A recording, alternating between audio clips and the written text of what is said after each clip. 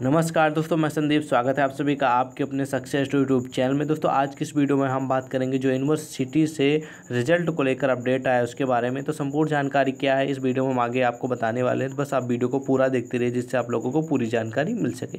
दोस्तों, आप सभी को मालूम है कि इस चैनल के माध्यम से इंडिया के बहुत सारी यूनिवर्सिटी के अलग अलग छात्र जुड़े हुए हैं। तो उन सभी यूनिवर्सिटीज़ जो भी अपडेट आती है, हम अब तक ज़रूर प्रोवाइड करते हैं, ठीक है? चाहे वो जिस प्रकार की भी न्यूज़ हो। और मैं आपको ये भी बता दूँ कि आप वीडियो को पूरा देखते रहिएगा। रिज़ल्ट के बारे में जो अपडेट आया वो हम आप लोगों को दिखाने वाले हैं। ठीक है? आप सभी के जो कमेंट आते हैं, उसी के अकॉर्डिंग में हम वीडियो बनाते हैं, जिससे आप लोग अपडेट रहें, ठीक है?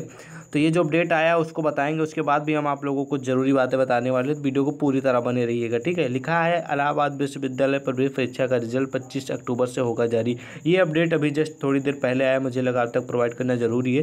तो इलाहाबाद विश्वविद्यालय में जो प्रवेश परीक्षाएँ हुई थी, उसका जो रिज़ल्ट है, वो पच्चीस अक्टूबर से आना स्टार्ट हो जाएगा, यानी पच्चीस, छब्बीस, सत्ताईस, अट्ठाईस तीन दिन के अंदर सभी प्रवेश परीक्षाओं का रिज़ल्ट जारी हो जाएगा।